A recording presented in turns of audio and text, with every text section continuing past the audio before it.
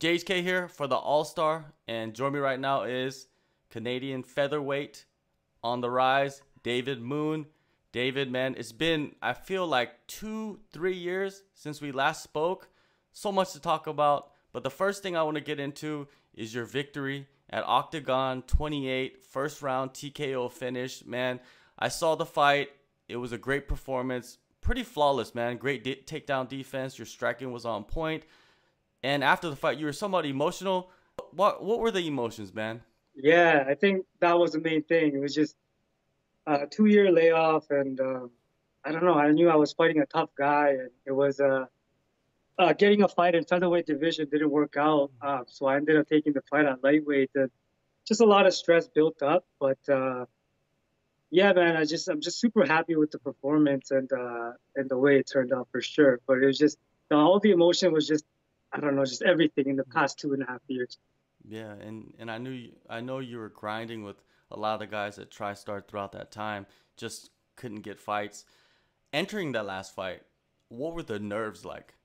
Man, this one was different, bro. Definitely the biggest challenge of uh, my career. Uh, the nerve wise, shit, I was so stressed out this that that fight week, bro, more than ever.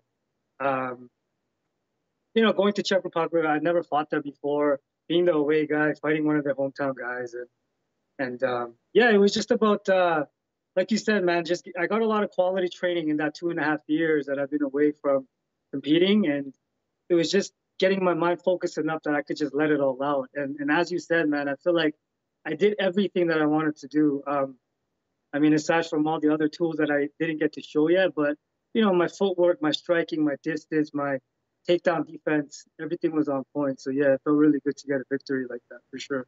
When you connected with that first right hand and he wobbled, right? And it was just a clean shot. I thought he was out. Were you surprised he recovered from that? The first one when yeah. when he was wobbling. Yeah, the first right hand, yeah. Yeah, I mean, I knew he was hurt, bro, but man, yeah, I guess like the commentator said, he just I guess his wrestling uh, background just kicked in and he just grabbed that single leg and I remember trying to finish him with the elbows, but he kept pulling me, and I was like, Fuck, this guy's actually still pretty strong, you know. So I had to calm down, and I heard Spicy from the outside telling me like, don't go for the finish, just defend, defend.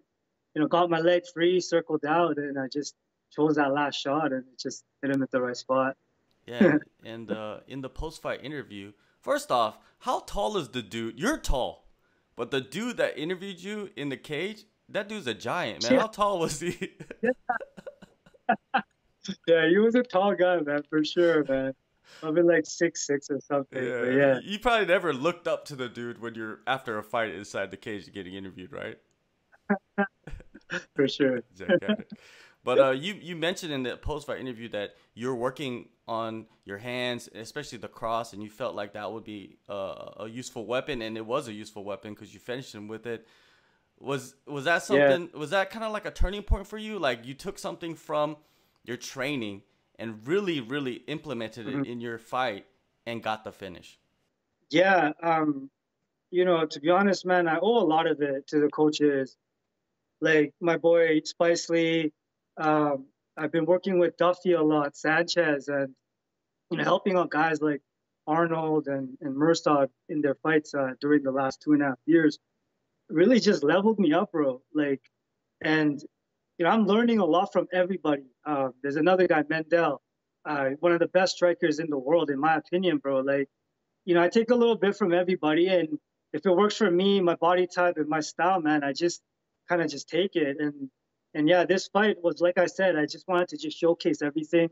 Um, you know, at least with the hands, yeah, I was able to showcase that right cross that that uh, I really feel like improved a lot, man. It's one of my go-to weapons now, so which yeah, is cool. Yeah, for sure. And uh, you fought in some unique locations around the world, man. It's like you're. It's difficult for you to get a fight in Canada. How was it fighting for OKTAGON? Yeah.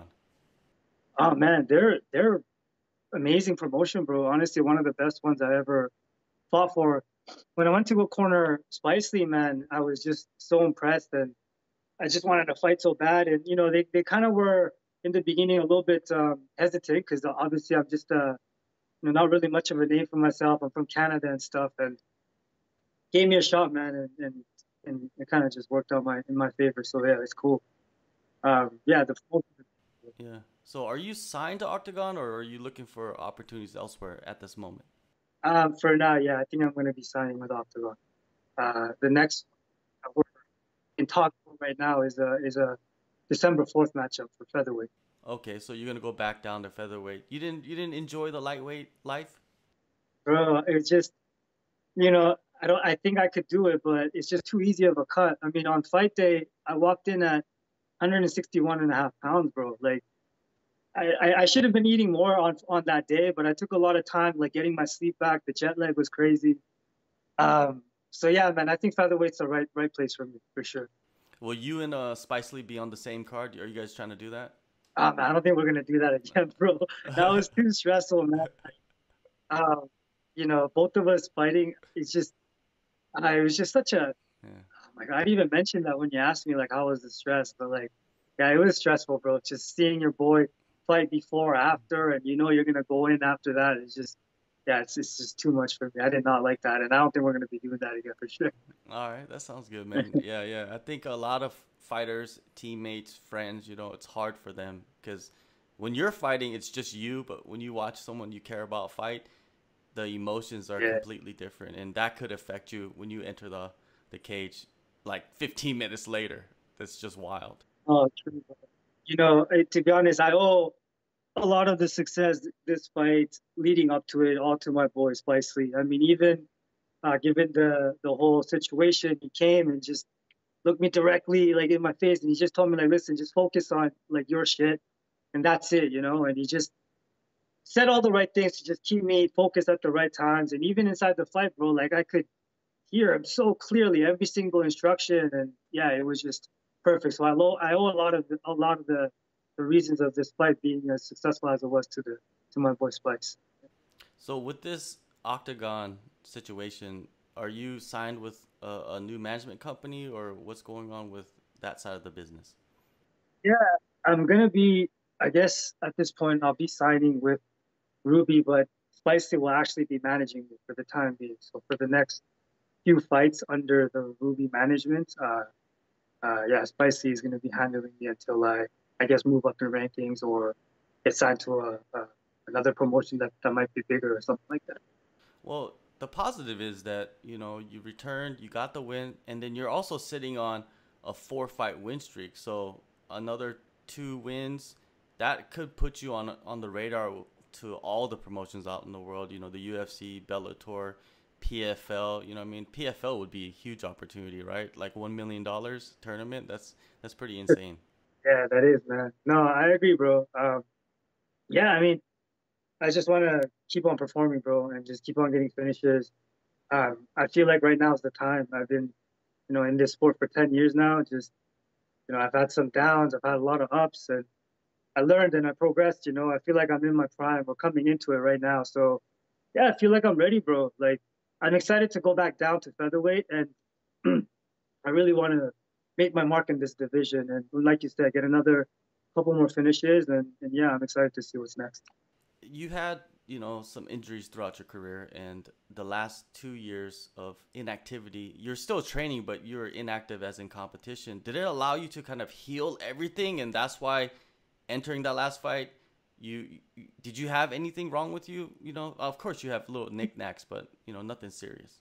Um yeah i mean to be honest with you uh i've been training throughout like literally uh the whole time, bro. I, I don't think I I take taking a break, break. You know, like, um, yeah. I mean, just training smart though, because it's not a fight camp or anything. Just if I have a little injury, like you were mentioning, I just take a few days off, and I was being smart about it. But yes, when I came into this fight, man, I was, I, I've never been this healthy. I had, you know, my ACL done like two years ago. I came back from it, and I, I was able to do that, everything without any pain in my joints and stuff like that. So yeah, it was very good going through that stressful situation, did you feel like uh, maybe you went like went over a mental hump? You know what I mean? Because you, physically you're ready. You've been training for years, basically, for this fight, and you went in there and you performed phenomenally.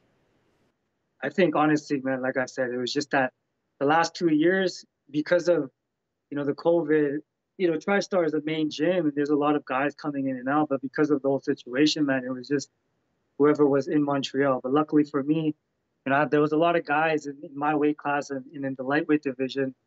So yeah, I got so good just training with them, but helping them out with camps, all the sparring we did. Um, yeah, that definitely was a big key in, in the performance that I put on this past five years.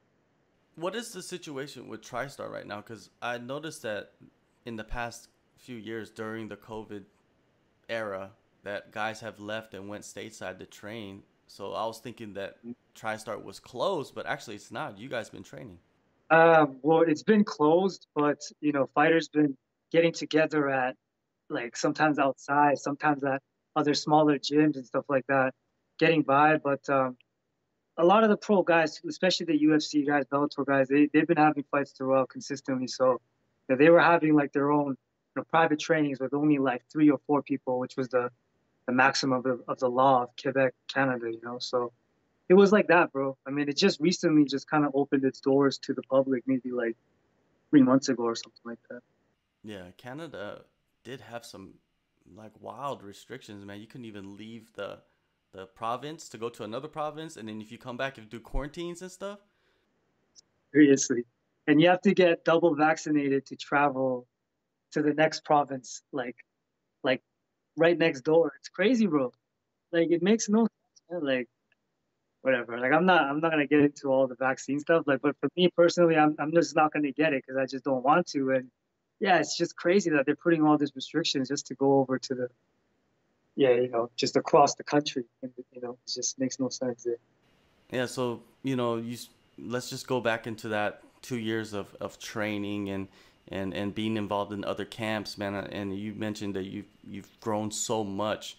Where do you feel like you've grown the most, and who has like added more to your arsenal compared to others? I've grown the most with um, my striking for sure. I mean, I think I always was like a striker at heart, but now it's like, uh, yeah, I definitely reached like a level that, that you know, I've only been in this level for like probably the past year and a half, you know, where um, everything just seems to be coming together real nice. And, you know, this past OKTAGON fight, I was only able to showcase my boxing with my with my striking, but man, I got kicks and knees and elbows and and yeah, it's just all coming out, blending real nice, man. So striking for sure. Uh, second thing would, would be the um, the defense, bro. Uh, the cage wrestling defense, because I mean, you got so many killers at TriStar, and of course, I'm using my best tools. These guys are using my their best tools, and they're exposing my weakness by putting me on the cage and putting the pressure on with the wrestling. And it was hell, but I grinded and I kept on putting myself through that. And uh, that's been my second biggest improvement, just being able to defend myself there and get out of there and be able to utilize my best weapon, which is my striking. What's your situation now? Are you in camp helping someone else right now, or are you just training every day? Uh, after the fight, I had a dislocated thumb, so I took a couple of weeks off. I just started my first day of training now, and um, there's no opponent yet, but the plan is to fight on December 4th uh, in OKTAGON again. So I'm just starting starting now, man. But I mean, I've, I've stayed in shape, and I was still training with the injury, just doing jujitsu, no striking and stuff like that. So uh, yeah, just transitioning, just picking up the pace a little bit more now. All right. Well, if you do get an opponent on December 4th, we will chat again, talk about the matchup, maybe get Spicely on here to do a little, give yeah. a couple words, and uh, sure and uh, catch up again, man. Thank you, David, man, for the time and uh, good luck, man. You're all smiles, man. Uh, it's good to see that. Yeah, appreciate it, brother. Thank you, man.